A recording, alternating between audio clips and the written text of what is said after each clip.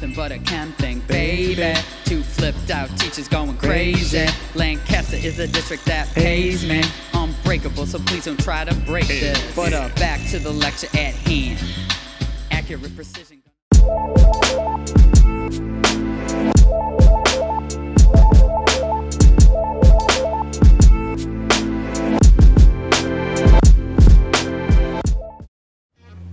Hey, shoot, we gotta get this organic video done. I'm coming! Ah, here you are. So I was looking at this bottle of hexane and uh, I can't figure it out. Is it organic or not? Of course. Oh, it is. Oh, okay. Yeah. What, wait, what, what are you doing? Well, you said it was organic. Yeah, but organic means it just has carbon atoms. Oh.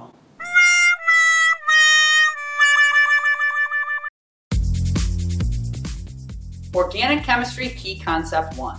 Organic compounds contain carbon atoms which bond covalently to other atoms. The carbon atoms may bond to each other, forming chains, rings, and networks in a variety of shapes.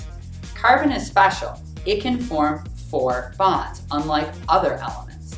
This leads to a wide variety of different structures that can form. Organic chemistry key concept two. The names for organic molecules are derived using the IUPAC system as described on tables P, Q, and R. Now table P is used to determine the prefix for how many carbons you have in your long carbon chain. Table Q is used to determine whether you have an alkane, alkene, or an alkyne based on the single, double, or triple bonds present between those carbon atoms.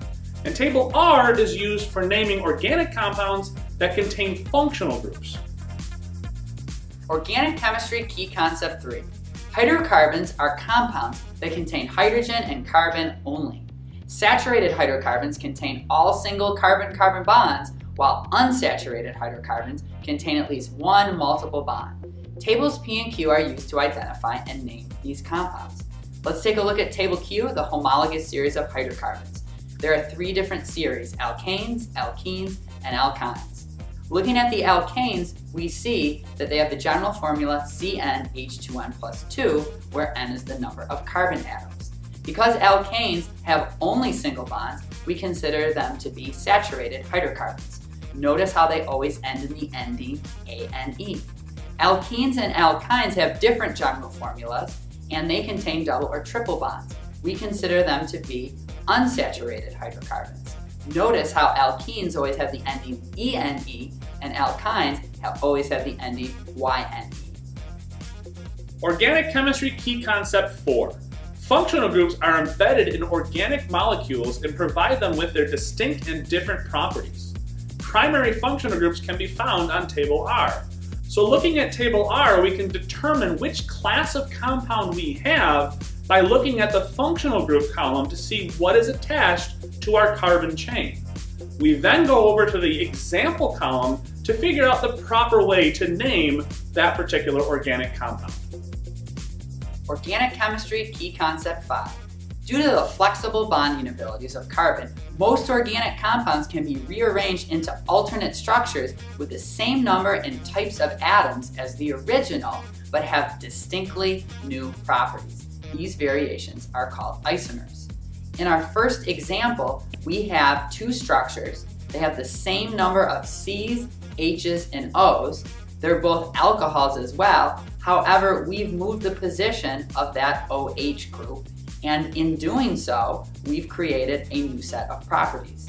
These two structures are isomers of each other. In our second example, we again have the same number of C's, H's, and O's between the two structures. However, in one, we're an alcohol for our functional group, and in the other, we are an ether as our functional group. Again, we have distinctly different properties, but these two structures are still isomers of one another. Organic chemistry key concept 6. There are a number of chemical reactions that are associated with organic compounds. They include addition, substitution, polymerization, esterification, fermentation, saponification, and combustion.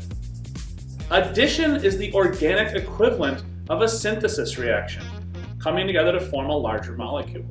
Substitution is an exchange of atoms on a hydrocarbon. Polymerization is many small organic compounds coming together to form one very large chain. Esterification is always the reaction of an organic acid and an alcohol to give you ester and water.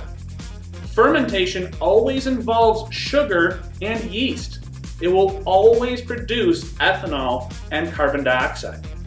Saponification is always the reaction between an oil or a fat and an inorganic base. This is the only organic reaction that involves an inorganic compound. It will always produce glycerol and soap.